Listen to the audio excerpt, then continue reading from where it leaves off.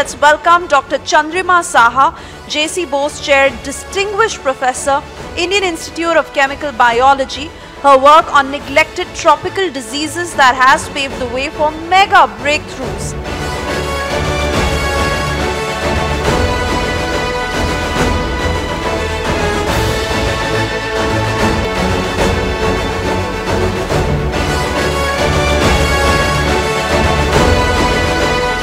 A very good evening to all of you.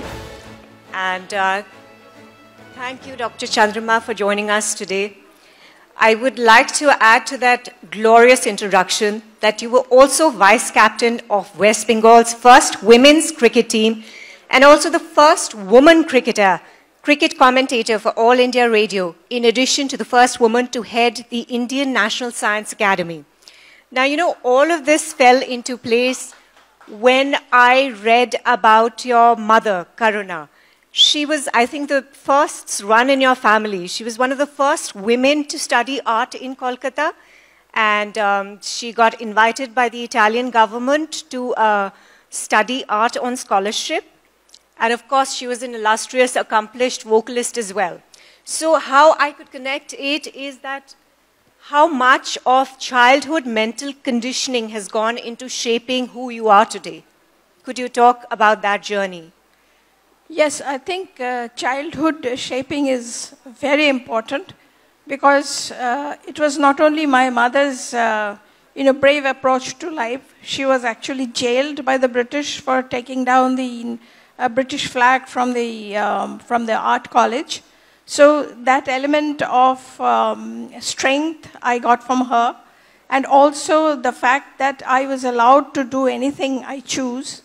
And my father also uh, was a very liberal uh, person, and he encouraged me to take science. So my, uh, and then teachers in school. So my um, whole uh, childhood uh, bringing up was, uh, you know, was, you know, egged forward by all my teachers, my parents, and mostly at home, I was given the independence to do whatever I, want, I would like to do. Uh, right. You know, I was reading somewhere that as a young scientist, you felt uh, very invisible among your male colleagues. Very few of them even acknowledged your presence. Of course, that did not deter you. You went on to fight the gender bias and you went on to prove yourself you were saying that, you know, it was very subtle discrimination. Those uh, men did not um, celebra- celebrate women, rather, they tolerated women. Yes. Yes, that's uh, very important because I could not figure out at the beginning when, uh, when uh, it, I'm talking about the 80s, so it was a time, in a long time back, that um, uh, some of our, my colleagues would not uh, share science with me and I could not make it out whether they thought that women were not worth dis- uh, discussing science with, or it was the shyness of men for not talking to women. But I must say that this has changed quite a bit over, say, last four decades. And uh, women are given more importance than they used to be, they were used to be given. Um, but a lot still needs to be uh, improved at the level of small towns, rural settings, where, you know, in the schools or where people are studying science, and uh, they should, should, should actually should be given uh, the space to be themselves. Uh, right, Chandrima you know, what can be done to encourage more and more women to take up STEM subjects? One of them, of course, you said, you know, you want your scientists to come forward and talk about their work uh, in local languages to young minds, young people, young girls out there. What else can be done? I think uh, it's, it's, it's all up to uh, uh us to create an interest in science in, um, uh, in young children. And so, regional language is one thing by which you can actually go to the interiors of the country and, and, and uh, uh, give, them, give them your opinion about science and job opportunities and uh, how you can make a livelihood, how you can have fun with science. So that's, um, that's how you need to encourage people. And also, they should be exposed to role models. Uh, because we don't see too many role models. How many uh, women we know who are great achievers in science other than the Nobel laureates. So role model is a, is a great way to communicate to uh, young women. Right, and there's also inadequate representation of women in the scientific community. But at the same time, you do not support reservation. May I ask why? Um, I do not support reservation in science. The, the reason is we are aiming for an efficiency, certain uh, degree of efficiency. And there are not enough women who are uh, very competent at after a certain level. So if you compromise in the quality there, then you are actually um, uh, uh, you are actually having a insufficient efficiency in the system. So I think um, uh, there, what 33%, uh, I don't know why it's 33%, 33% means is to have enough women representation in a committee or policy making body so that women's causes can be uh, taken forward. So, but since also reservation has a stigma attached to it, I think in science uh, we should not have uh, reservation but, uh, um, but to encourage more women to come into science so that the critical mass increases and we have enough good people. Uh, right. My next question is uh, that um, how science and technology can help to develop innovative solutions to the challenges uh, that India faces. Yes, you know, um, uh, science and technology is, is actually improving by leaps and bounds, I would say. And you see where we are today. Could we have imagined about 40 years back where we are today, the, the technology revolution, the digital, uh, uh, the digital world?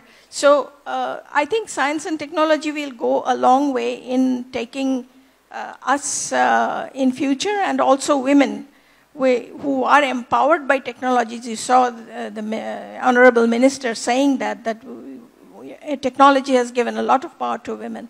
So we trust that it's going to get us forward. Right, and you know, how do we break that uh, societal conditioning? Of course, first it's the family's conditioning and then the societal conditioning. You even talked about, you know, how uh, it was different in Kolkata than it is in Delhi when you were studying. You know, women were still discriminated in STEM subjects in science classes. Could you take us through that journey? Um, yes, uh, STEM subjects, it's a, it's a, uh, they should be encouraged from home because there is nothing boy subject and girl subject. So both genders should have exposure to uh, to the same to the same things that they want to do, they are interested in. So it is very important for the parents I think we need to guide parents, actually the parents to encourage their children to have the equal share of whatever they would like to do. And uh, that is where the most important thing, and not only parents, the society around, the schools, the school teachers, they should all encourage both girls and boys to uh, do the subjects that they like the best. All right, uh, Dr. Chandrika, if you could also tell us how is the research going in India and will it change the future, the face of healthcare in India? Um, you see, the research in India, uh, I mean, over the past decade, it has improved very much because we have had programs of bringing back scientists from abroad. I mean, that's been for, I said, last 15 years or so that scientists are coming back who are very well trained and they are taking, uh, they, are, uh, they are being employed by the different scientific institutes. And so the quality of science has really gone up. If you look at the data also, that the, that the publications that we make are much better than before. And so I think the science has a very bright future uh, in the country. Right. And could you also talk about uh, the importance of women in the field of bioscience? Yes, you know, uh, as in as everywhere, diversity is very important. And diversity can be geographic, diversity can be of language, diversity can be of gender. And because 50% of our population are women, the having women in, you know, for example, in the sustainable development goals, having women in working in all those areas, I mean, we will have an equal talent pool coming in. So that is why it is very important that women comes and um, uh, joins the scientific workforce.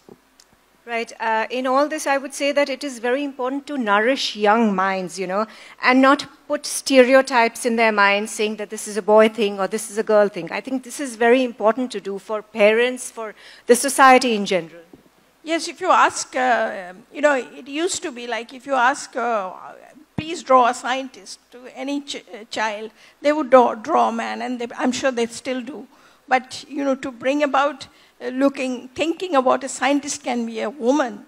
So that is important, and that I think uh, will improve with time. I don't know how much time it will take, but I think uh, that uh, the scenario is changing. Right. And my final question to you what was your dare to dream moment? I think my dare to dream moment was that I wanted uh, my own laboratory. So when I started a laboratory with uh, some of my students, I think that was my dare to dream moment, and we ended up doing some very good science. Right. Thank you so much for that inspiring conversation. I hope that more and more women, young women out there, will come out and join the scientific community. Thank you so much. Thank you very much.